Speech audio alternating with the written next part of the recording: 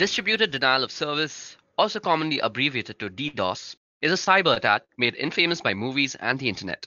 Simply put, it is a situation where any sort of service is being denied to you, but in this particular video, we will take a deeper look into DDoS and I will try and explain how much how such an attack works, along with its various types. Hi guys, my name is Arya, and I welcome you all to this video about DDoS explained. Now before we begin, let's just go over the agenda of today's video. So today we will first see what exactly is a DDoS attack and also a DOS attack. We'll also go over how it works and the types of DDoS attacks. In the end, I'll show you a neat little demonstration on how you could perform your own DOS attack in your neighborhood. Okay, so let's begin. Firstly, let's go over what DOS and DDoS means. Now, to understand a DDoS attack, it is essential to understand the fundamentals of a DOS attack. DOS simply stands for denial of service. This service could be of any kind. For example, imagine your mother confiscates your cell phone when you are preparing for your exams to help you study without any sort of distraction. While the intentions of your mother is truly out of care and concern, you are being denied the service of calling and any other service offered by your cell phone. Now, with respect to a computer and computer networks, a denial of service could be in the form of hijacking web servers, overloading ports with requests, rendering them unusable, denying wireless authentication, and denying any sort of service that is provided on the internet. Attacks of such intent can be performed from a single machine. While single machine attacks are much easier to execute and monitor, they are also easy to detect and mitigate. To solve this issue, the attack could be executed from multiple devices spread across a wide area. Not only does this make it difficult to stop the attack, but it also becomes near impossible to point out the main culprit. Such attacks are called distributed denial of service or DDoS attacks. Now let's see how they work. The main idea of a DDoS attack, as explained, is making a certain service unavailable. Since everything that is attacked is in reality running on a machine, the service can be made unavailable if the performance of the machine can be brought down. This is the fundamental behind DOS and DDoS attacks. Now, some DOS attacks are executed by flooding servers with connection requests until the server is overloaded and is deemed useless. Others are executed by sending unfragmented packets to a server which they are unable to handle. These methods, when executed by a botnet, exponentially increase the amount of damage that they are doing, and their difficulty to mitigate increases in leaps and bounds. To understand more about how these attacks work, let us look at the different types of attacks. Now, while there are plenty of ways to perform a DDoS attack, I'll be listing down the more famous ones. These methodologies have become famous due to their success rate and the damage they have caused over time. It is important to note that with the advancement in technology, the more creative minds have devised more devious ways to perform DOS attacks.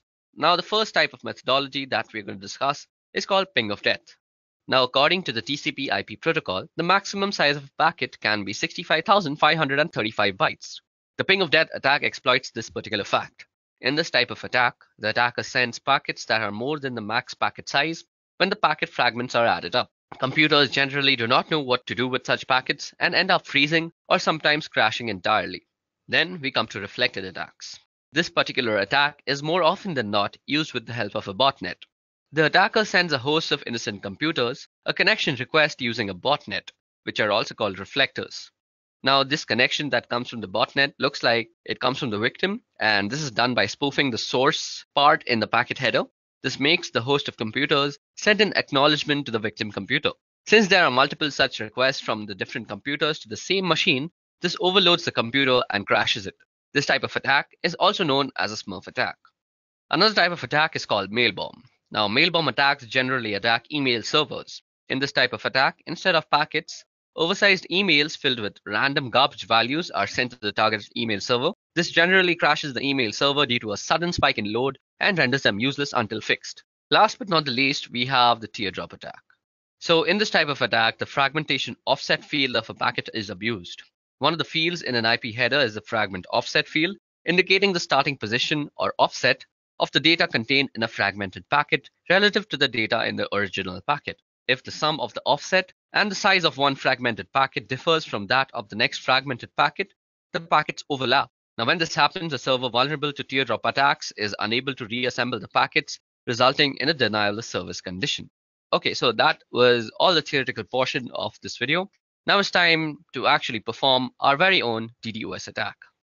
Okay, so now that we finished the theoretical part of how DDoS actually works and what it actually is with its different types, let me just give you guys a quick demonstration on how you could apply a denial of service attack on a wireless network anywhere around you. Like this could be somewhere like Starbucks where you're sitting, or this could be a library also, or your college institution. No matter where you're sitting, this procedure will work.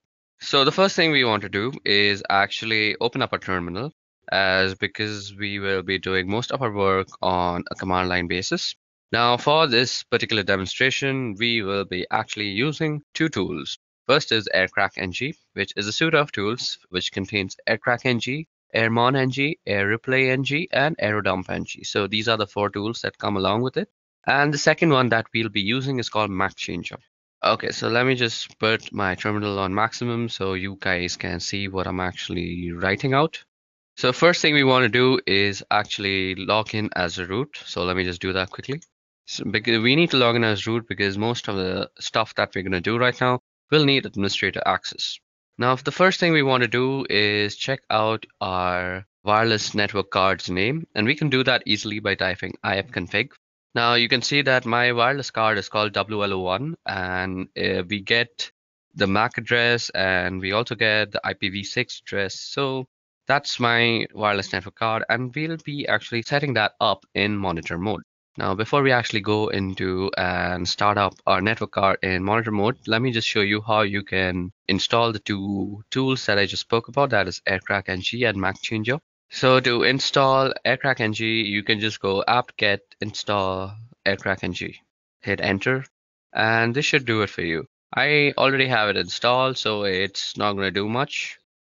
To install MacChanger, you could just go the same command, that is apt-get install MacChanger and you can check if both the tools have been installed properly by opening the manual pages by typing man aircrackng and this will open up the manual page for you and let's also do the same for mac MacChanger.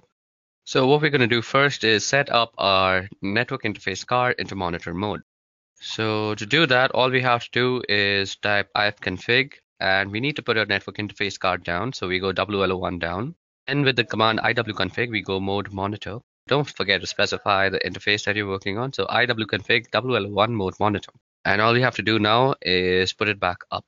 So what we are going to type is ifconfig WL1 up. You can check the mode.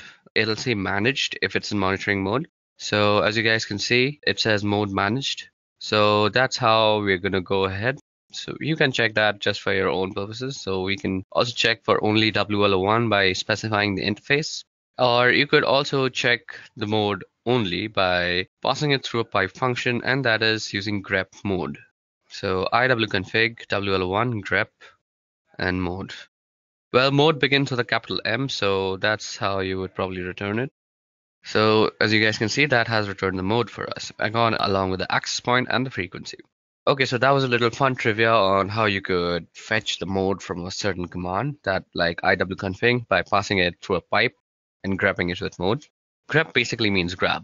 Okay, so now moving on, we'll get to the more important stuff now. So firstly, we need to check for some sub-processes that might still be running and that might actually interfere with our scanning process. So to do that, what we do is airmonng check and then the name of the interface. Now, as you guys can see, I have the network manager that is running out here and we need to kill that first and that can be easily done by going kill with the PID. After that, you can run a general command called airmon ng check and kill. So whatever it finds, it will kill it accordingly. And when it produces no results like this, that means you're ready to go as there are no subprocesses running that might actually interfere with our scan. Now what we want to do is we want to run a dump scan on the network interface card and check out all the possible access points that are available to us. So as you guys can see, this produces a bunch of access points and they come with their BSS IDs. They also have the power, which is the PWR, that is the power of the signal. And let me go down back again. So yeah, you can see the beacons, you can see the data, you can see the channels available. And what the BSS ID is, it's the MAC ID that is actually tied in with the ESS ID, which basically represents the name of the router. Now what we want to do from here is we want to choose which router we want to actually DOS. Now, the whole process of DOSing is actually we will continuously de-authenticate all the devices that are connected to it. So for now, I have chosen Edureka Wi-Fi to actually DOS out. And once I send a de-authentication broadcast, it will actually de-authenticate all the devices that are connected to it.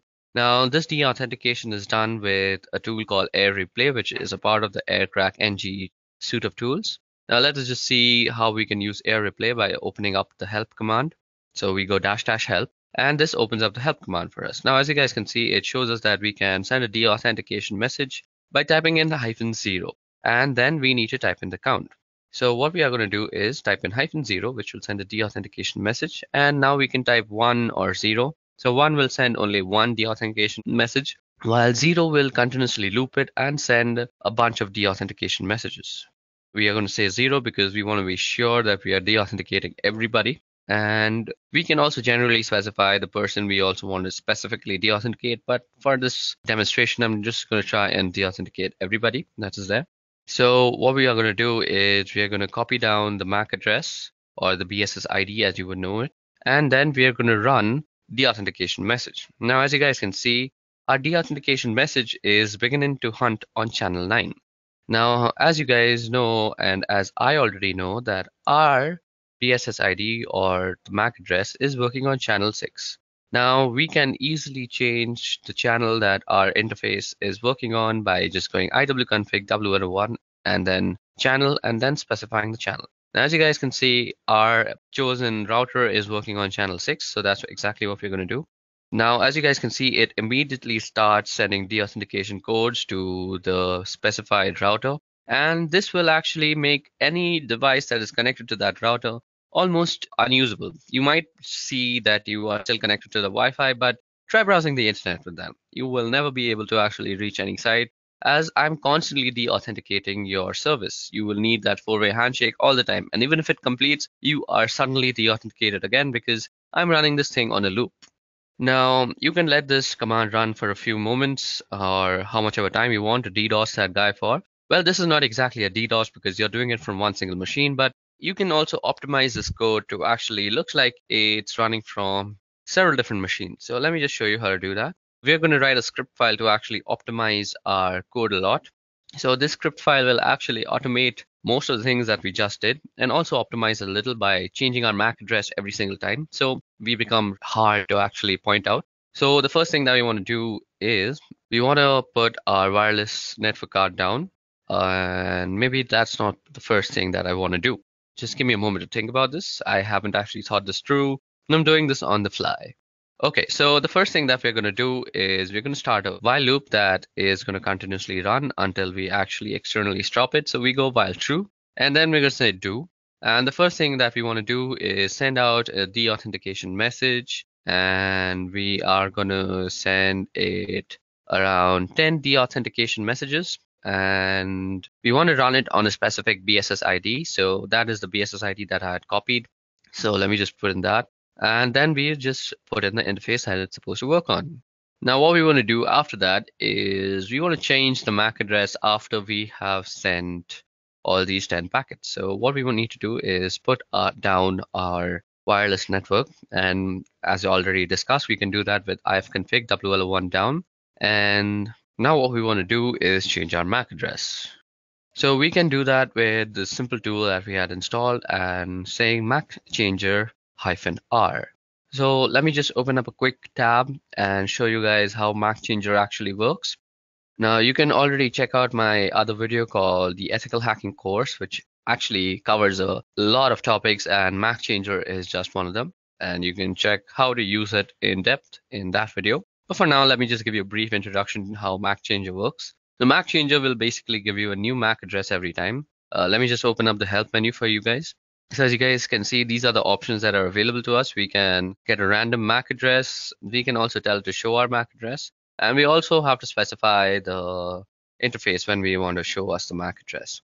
Now let me just generate a new MAC address. Uh, so you see out here that interface up or insufficient permissions is being shown. So this means we always have to put down our interface first. So let me just do that quickly. I have config WL1 down. And now what we want to do is give ourselves a new MAC address and boom roasted we already have a new mac address as you guys can see from the new mac part Now, if we put back our in network interface card and then try and show our MAC address again, we see that our current MAC and our permanent MAC are two completely different MAC addresses. And our current MAC and the new MAC are identical.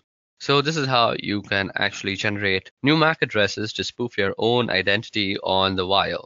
And that is very useful in this case because the person you're attacking will be so confused as to what to do because your MAC address is changing every time. And there's no real solution to the situation that you're creating for him. At least I don't know of any solution. If you do know how to stop this for yourself, please leave it down in the comment section below and help the world a little bit.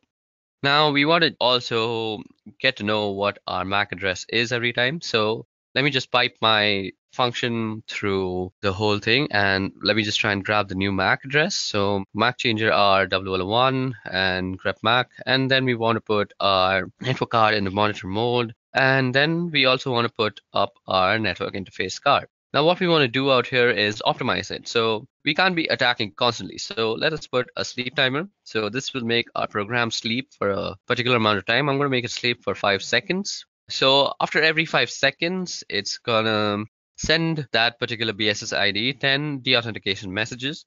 Then it's gonna bring down my interface card. It's gonna change my MAC address. It's gonna put back the interface card into monitor mode and sleep for five seconds and then repeat the entire process. And to end the script, let's just say done. So that will denote when the loop is done. Now let me just save it. Control O, Control X to exit. And there we go.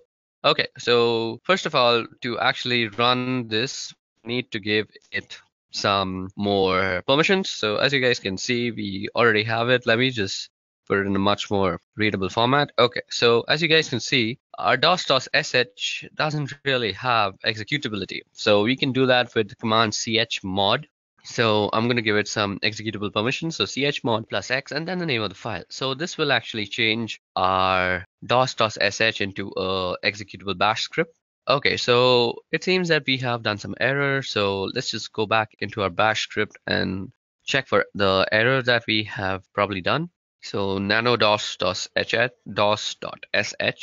Ah, okay. So the thing that I am missing is that I forgot the hyphen A that I'm supposed to put before putting the BSS ID in the air replay ng part of the code. So let me just go ahead and quickly do that. Okay, so now that that is done, let me just save it and quickly exit and see if this thing is working. Okay, so now we are trying to work out our script. Now you guys should know that this Edureka Wi-Fi is my company's Wi-Fi and I have complete permission to go ahead and do this to them. Also, my company's Wi-Fi is kind of secure, so every time it senses that a deauthentication message is being sent like that, it kind of changes the channel that it is working on. So these guys are really smart, smarter than me most of the time. And this time, I'm just going to try and force them to work on channel 6. So let me just go ahead and run my script once. Okay, so let me just check that they're still working on channel 6. Yep, they're still working on channel 6.